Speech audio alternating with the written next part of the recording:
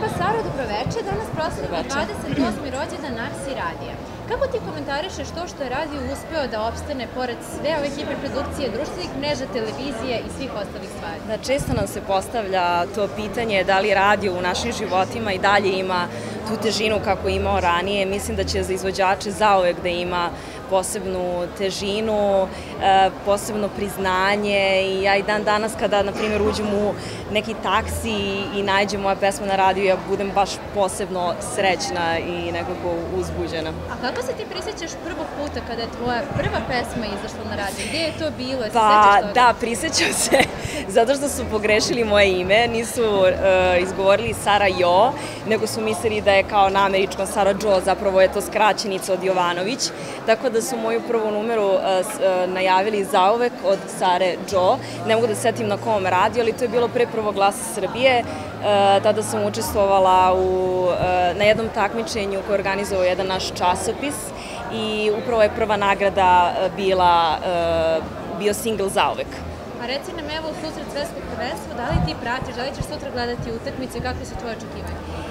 Volim da pratim sport, ali moram priznati da od svih sportova se najmanje razumem u, u, u futbal. Volim da gledam sa društvom, pravim se da razumem sve. ovaj, naravno da mi je drago kada, kada mi osvojimo nešto, kada dobijemo, kada ostaje napravimo neki dobar uh, rezultat, ali moram priznati da od svih sportova futbol naj, najslabije.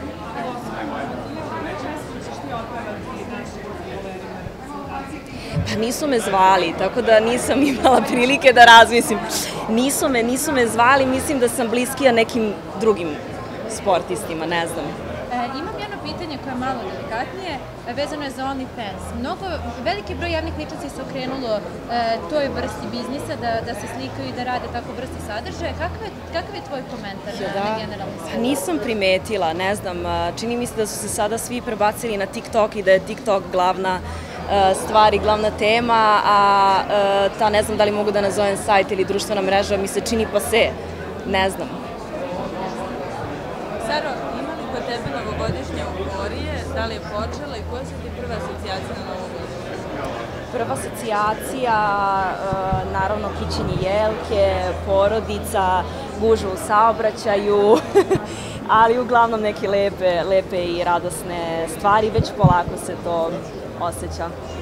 Koje novogodišnje želje želiš sebi za 2023? Hmm, pa bit ću zadovoljna ako bude dobra kao i ova 2022. Zaista iza mene predivna, predivna godina koja mi tekako ispunila i dala vetar u leđe za dalje, pa se nadam da ćemo u tom maniru nastaviti dalje. Prošlu novu godinu se dočekala sa Beograđanom da. gde ćeš dočekati godine? E, ove godine u Crnoj Gori, 31. sam e, u Baru, a 1. januara sam u Budvi, tako da ove, ove godine se prebacujemo na Crnogorsko primorje. I za kraj, koju pesmu na radiju želiš da čuješ večeras puno? Pa Zdravko Čolić je uvek e, dobra opcija. Ja mislim za, za sve nas. Evo i nedavno je bio moj rođendan, iako sam izabrala uh, više neki strani fazon R&B i pop, u nekom trenutku su svi naravno želeli Zdravka Čolića, tako da mislim da je tu uvek savršen izbor. Hvala, to je. Tvoj dečko, komentariše neko da, naravno, sa njim. Među prvima on sazna kakav je styling i pre samog događaja volim da podelim to sa njim. Nije tu zato što sprema turneju za Jelenu Rozgu. Prvi datum je otprilike polovinom decembra, tako da su uveliko pripreme u Ljubljani i samim tim je sada na meni da ja njega posećujem malo češće nego što sam ranije. Da, da, da, da, da. Jeste, da. Pa ne, ne znam šta bih dodala. Mislim da taj snimak govori apsolutno sve. Prosto volim da iznenađujem svoje ljude. Gledala sam da ovaj, dođem u Ljubljano na malo drugačiji način. Pomogli su mi njegovi prijatelji, da, da ne kažem kolege. Ovaj, u tome dočekala sam ga u sali za probe. On je apsolutno nije očekivao. Dva minuta pre toga me zvao. Ja sam slagala da sam u krevetu i da se spremam da izvedem Noru, svog psa, a zapravo sam uveliko bila u, u Ljubljani i nestrpljivo čekala da uđe u tu salu. Želiš možda da se sledeće godine desi taj prsten, možda svadba ili misliš da to još Razočarajuće pitanje. Zašto? Pa, baš sam očekivala, ne znam, toliko si sladak, mislila sam da ćeš nešto lepo, da me... Pa dobro, to nije lepo. Pa da, ali baš, baš toliko se priča o tome da je to nekako degutantno pitati, ne. Izvinite, moramo da krenemo s programom unutra, tako da ako ste Za kraj, za kraj neko lepo. Ja može da čestite samo? Ne.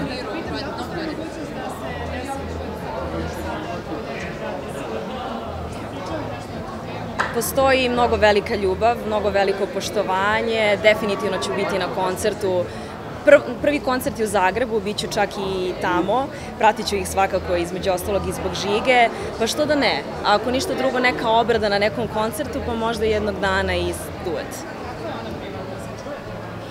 Nisam imala, nisam imala prilike toliko puta da je vidim uživo, često smo se čule preko Instagrama, uglavnom oko naših kučića, ovaj, kučići connecting people, uh, ovaj, ali kad god sam je srela, beskrajno, draga, mila i simpatična Hvala vam puno, osoba. moramo da uđemo. Hvala. Razočaravajuće.